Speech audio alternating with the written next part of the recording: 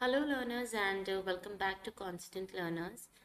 This is the third and final part of uh, support vector machine.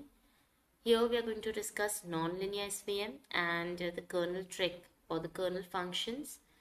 Uh, in the previous two videos that is part 1 and part 2 of support vector machine we discussed the basic of support vector machine that means um, how support vector machine can be used to solve classification problem we discussed what is a hyperplane. Then uh, we also saw what is the most optimal hyperplane right? We need to classify the data in the best possible way. So we need the most optimal hyperplane for that. Then we discussed linear classification. Of course in the previous two videos it was um, almost everything about linear classification. In this video we will be discussing non-linear classification correct then in the part 2 we discussed what is a soft margin, hard margin, outliers and finally we did the math intuition behind support vector machine.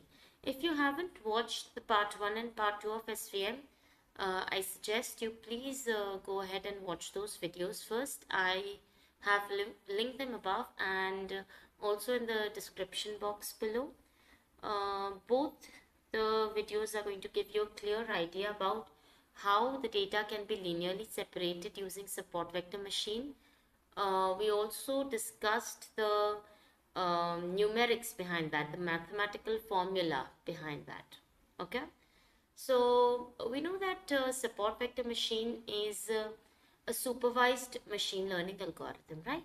And supervised algorithms require a labeled training data along with some algorithms and then uh, this training data along with algorithm generates some model so that whenever a new data is fed to the model it can easily classify the data into its respective class. Alright. Now here this figure depicts the linear support vector machine. Why? As we can see a straight line is separating the data into two different classes. This is class 1 and class 2 so this is linear SVM. Correct? This we've already discussed in the previous video. But what if the data is something like this or this? Can we easily classify this data using a straight line? Where are we going to draw a straight line? Here or here? No way we cannot classify this data using a straight line. So this is not a linear SVM. This is an example of non-linear SVM. Alright. Here also if suppose I draw a hyperplane somewhere here. Is it the most optimal hyperplane? No.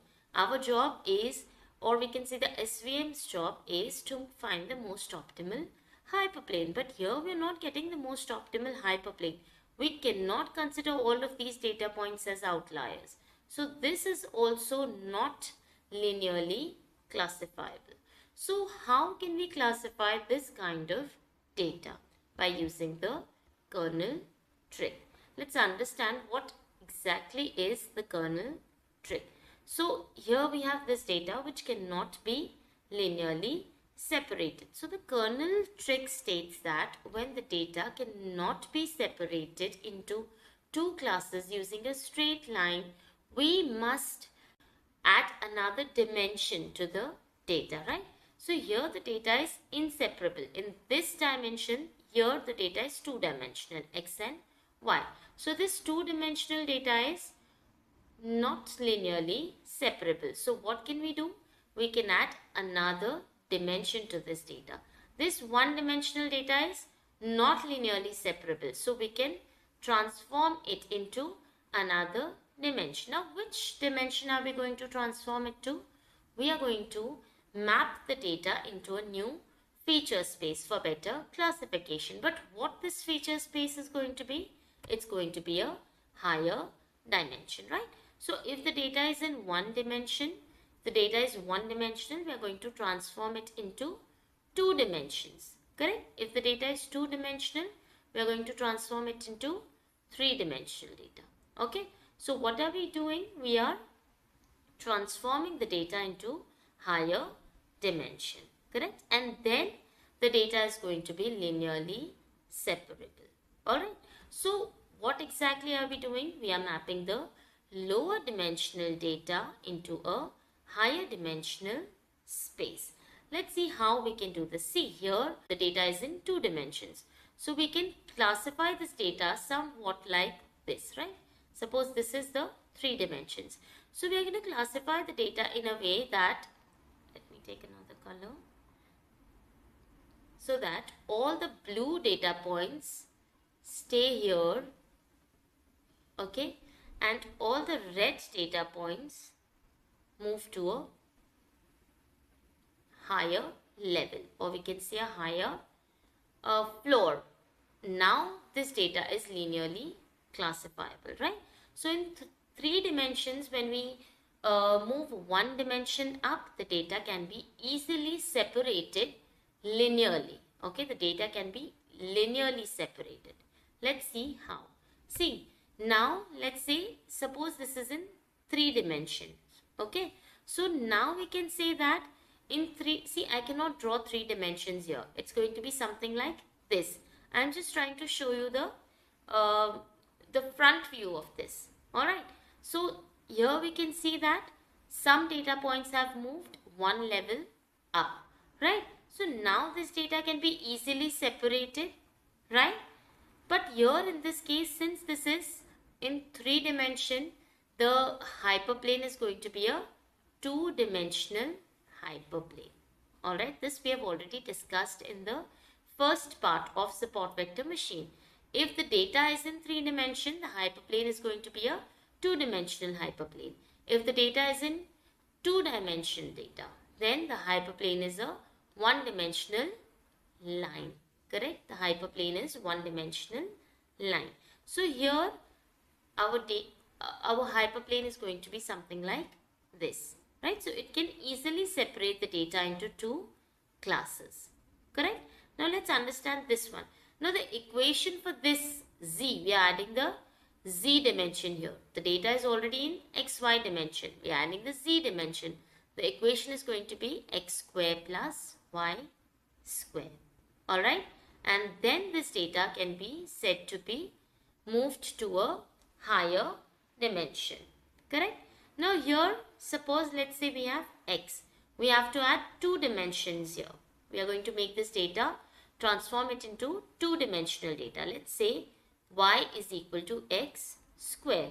So in this case, suppose this is at x equal to 0, x equal to 1, 2, 3, 4, 5. And this is minus 1, minus 2, minus 3 and so on. Alright. So when the data point is going to be 0, y will stay 0 correct for x equal to 0 for x equals to 1 or minus 1 okay y is going to stay 1 for x is equals to plus or minus 2 y is going to be 4 2 square is 4 for x equals to plus minus 3 y is going to be equals to 9 correct so let's see how we can plot this here. This is 0 on x as well as on y. When x is 0, y is also 0. Now when x is 1, y is also 1. Let's say this is 1 and 1. When x is 2, y is 4. So for x equals to 2 and x equals to minus 2. For both of these points, y is going to be equal to 4. Correct? For x is equals to 3 and minus 3. y is going to be equal to 9. Correct? So now we can say this data is easily linearly separable. Correct? So since this is a two-dimensional data, our hyperplane is going to be a line. Correct? This we have already discussed in part 1 of support vector machine. So see, this is our hyperplane that can easily classify the data into two different classes. Alright. So this is nothing but the kernel trick wherein when the data is not linearly separable, we can transform it into a higher dimension and then this data can be easily separated using a straight line or not a straight line we can say the data can be easily linearly separable okay like Here also the data is linearly separable, here also.